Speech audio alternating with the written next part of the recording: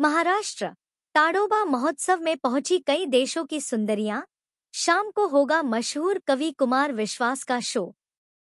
महाराष्ट्र के चंद्रपुर में forest minister Sudhir Mungantiwar की अगुवाई में ताड़ोबा महोत्सव, ताड़ोबा फेस्टिवल का आगाज़ हुआ। इसमें मिस वर्ल्ड समेत सात देशों की सुंदरियों ने हिस्सा लिया। इस कार्यक्रम के दौरान वाइल्ड लाइफ कंजर्वेशन का संदेश दिया गया। इस मौके पर सिंगर श्रेया घोषाल ने प्रस्तुति दी। महाराष्ट्र के चंद्रपुर में wild life conservation wild life conservation को बढ़ावा देने के उद्देश्य से तीन दिवसीय ताड़ोबा महोत्सव, ताड़ोबा फेस्टिवल का आयोजन किया गया। इसमें महाराष्ट्र के वन मंत्री सुधीर मुनगंटीवार ने कार्यक्रम का उद्घाटन किया। इस आयोजन में विश्व सुंदरी करोलिना समेत Miss India Miss South Africa, Miss Australia, Miss United State of America, Miss Spain सहित कुल सात देशों की सुंदरियों ने हिस्सा लिया। कार्यक्रम में एक्ट्रेस रवीना टंडन, रवीना टांडोन भी मौजूद थी। उन्होंने कहा कि चंद्रपुर के ताड़ोबा में आकर उन्हें बेहद अच्छा लगता है। कई बार वह ताड़ोबा में बाघ, टाइगर देखने के लिए आई हैं। अब बाघों को उनके नाम से भी पहचानने लगी हैं। इस कार्यक्रम में विशेष तौर पर बाघ नृत्य का आयोजन किया गया था। बाघ के भेष में कलाकार बाघ नृत्य पेश कर रहे थे। चंद्रपुर के चांदा क्लब ग्राउंड पर आयोजित इस कार्यक्रम के दौरान प्रसिद्ध सैंड आर्टिस्ट सुदर्शन पटनायक का सैंड आर्ट शो का आयोजन किया गया। सिंगर श्रेया घोषाल ने प्रस्तुति दी, वहीं हज़ारों की संख्या में लोग मौजूद थे।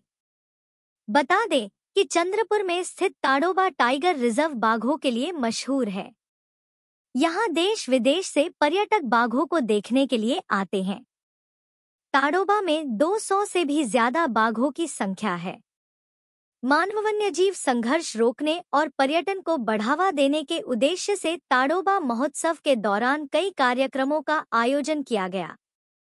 आज शाम को कुमार विश्वास देंगे प्रस्तुति। ताड़ोबा महोत्सव एक मार्च से तीन मार्च तक होगा। छोटे पौधों से भारत माता लिखकर Guinness Book of World Record में नाम दर्ज करने की कोशिश की जाएगी।